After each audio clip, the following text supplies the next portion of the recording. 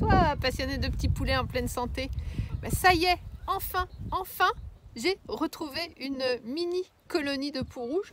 J'avais vu des traces il y a quelques jours, donc j'y touchais pas, je les laissais se développer parce que ce qui m'intéresse, c'est d'avoir une colonie avec des œufs pour tester euh, ce qu'il y a dans mon flacon magique là.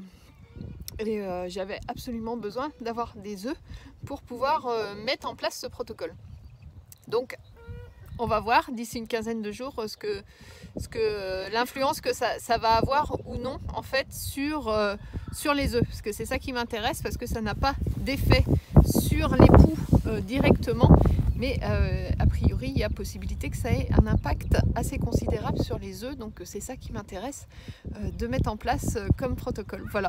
Donc euh, je suis super contente parce que depuis que Olivier Neveu était venu le 18 euh, février, donc ça fait plus d'un mois, je galérais, je ne trouvais pas. Alors personne ne veut avoir de poux et mais, les, gens en ont chez eux et moi qui en voulais pour pouvoir faire ces expérimentations, j'en trouvais pas. C'est quand même quelque chose d'extraordinaire. Je suis désolée, du vent.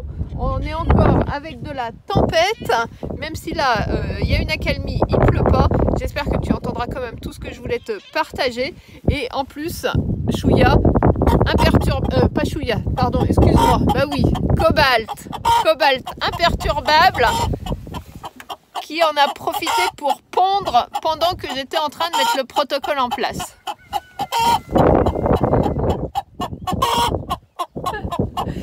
Je te souhaite une excellente fin de journée. Je te dis à très bientôt dans une nouvelle vidéo. Bye bye